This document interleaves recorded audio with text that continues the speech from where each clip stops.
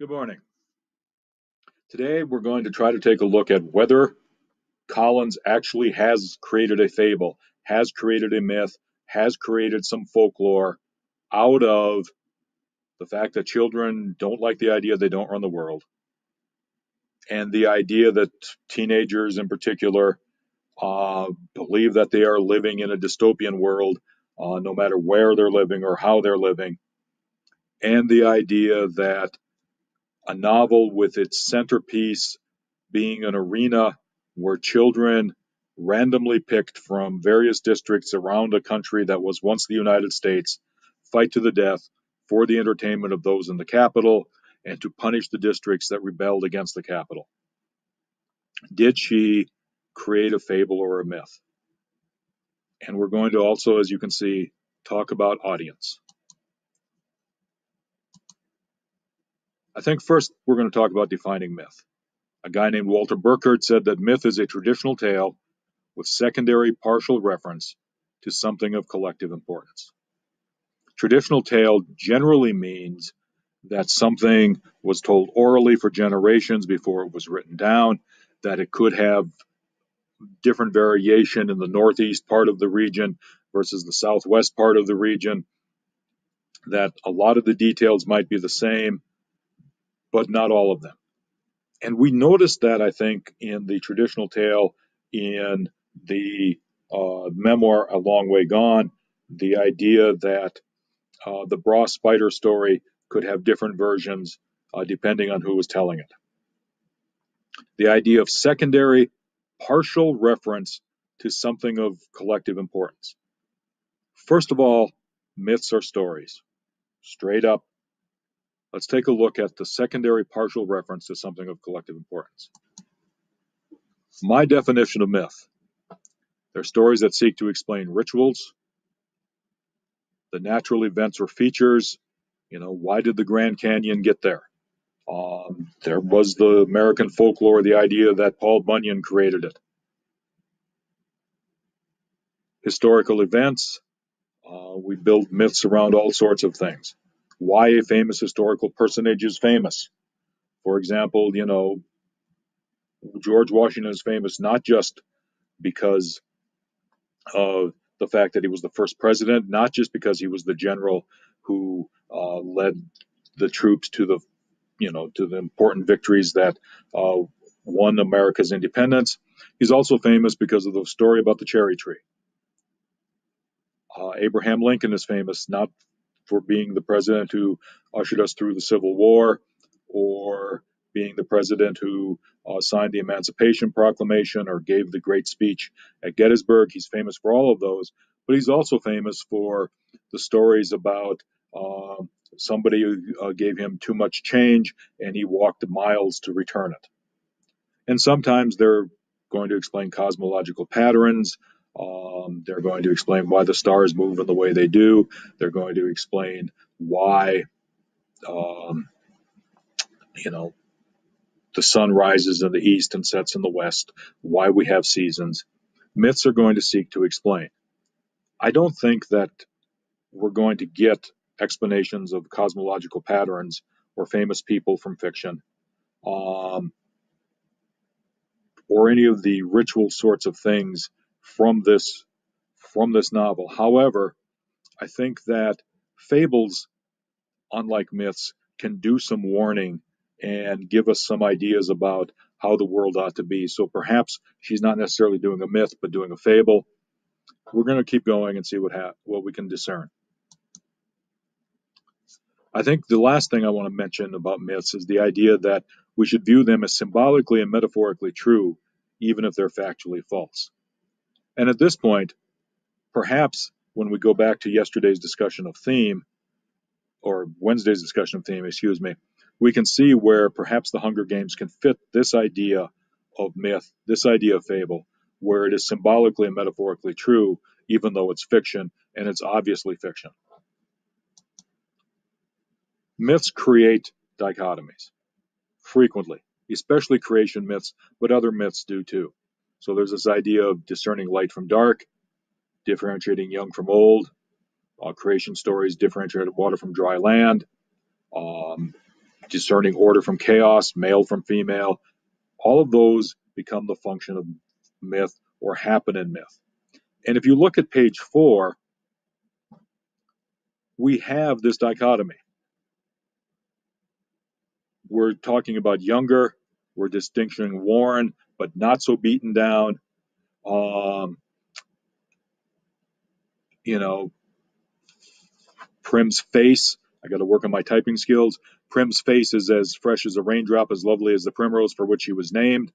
So now I have fresh versus worn. I have lovely versus beaten down. I have a dichotomy set up here uh, on page four. And we also have a dichotomy of what ought to be. Collis ought to type properly versus what actually happens. Collis type poorly. I think where Collins perhaps is getting closer to myth is in the idea of how an audience can react to it. The ancient Greek myths, as the title on the slide says, have lifelong appeal. Okay? Early childhood, they're food for the spirit. They're great adventure stories. Heracles kills the Hydra. Theseus kills the Minotaur. Uh, Perseus kills Medusa. Uh, Bellerophon kills the Chimera. Bellerophon rides Pegasus. Uh, Achilles fights bravely at Troy. All of those sorts of things were great adventure stories. The you know the version of the Fast and the Furious for kids uh, in ancient Greece. As they grow older, the stories develop, the stories evolve, and I think it's important to understand that art and everything about it sprang from uh, the myths. I don't think, again, that Collins necessarily does that. But if we take a look at comic books, um, kids read comic books at age 6, 8, 10, 12, and lots of adults are going to watch all the Marvel and DC movies. Uh, and the Marvel and DC movies should uh, if they're going to appeal to adults, have a deeper meaning than just the stuff in the comics. And again, just to move it a step further, the idea that when they became the tragedies, the audience that filled the benches at these performances regarded events and sufferings they beheld as the most profound expression of the meaning of all human life. It's a big thing for a guy who just chopped off uh, a hydra's head and two grow back. The most profound expression of the meaning of all human life, coming from the theater, coming from the myths, coming from the stories. So, again, can a story centered around an arena where children fight to the death be that? Can it give us the most profound expression of the meaning of all human life? I don't know. But I do think that readers will view the Hunger Games trilogy differently. Uh, this is from Christina uh, Bruns, and she is talking about this idea of reading the stories of a middle aged parent who does not identify with Katniss but cares for her.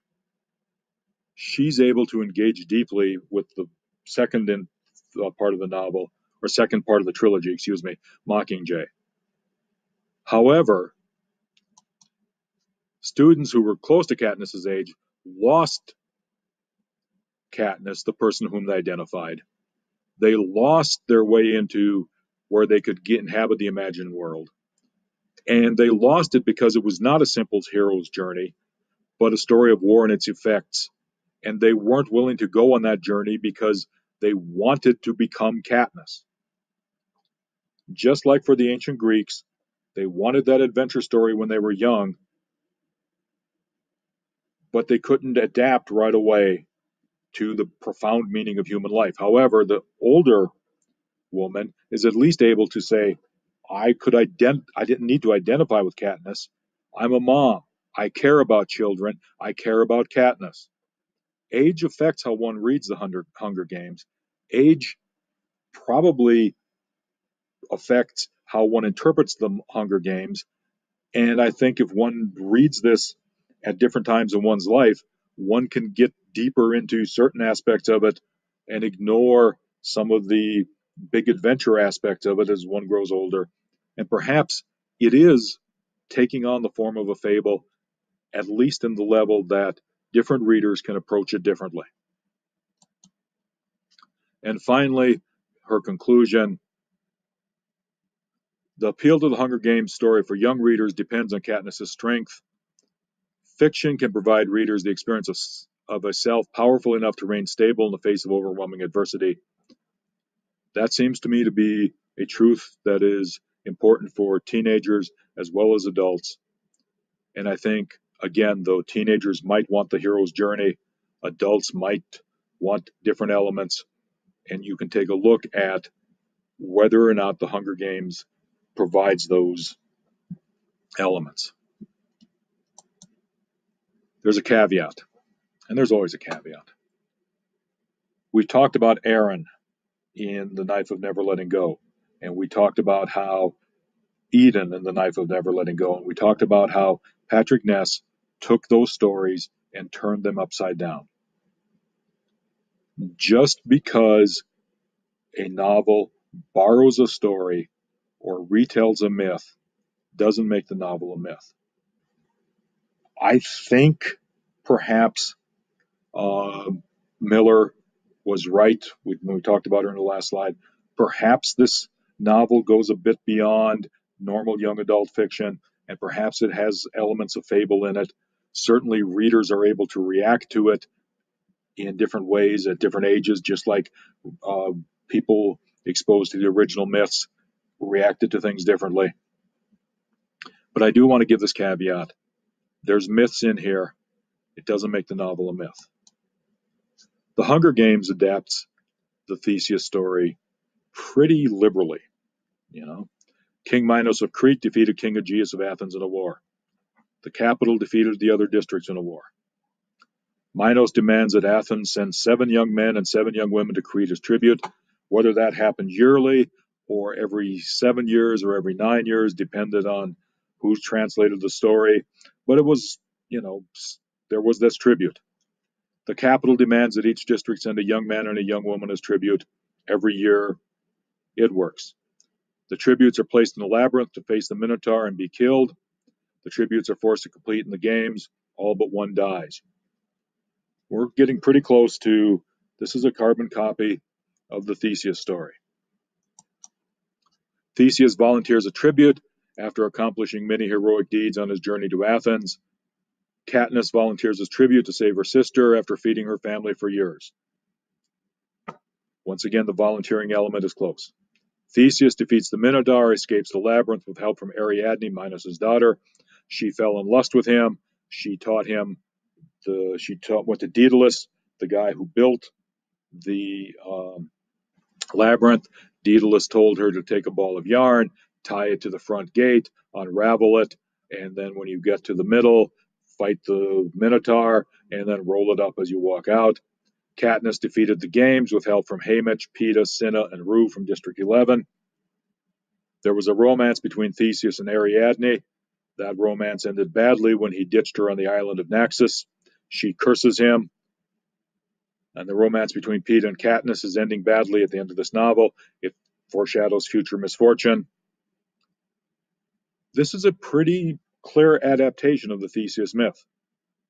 However, that adaptation does not make it a myth. And I think that's important to understand. If we're going to view it as a myth, does it have an explanatory function? Does that explanatory function grow as the readers age and develop intellectually? Those are the questions I think that one needs to ask as one looks at this as, as myth. Okay, is going to wrap it up for today. I hope everybody has a good weekend coming up, and we'll keep going uh, next week with the Hunger Games.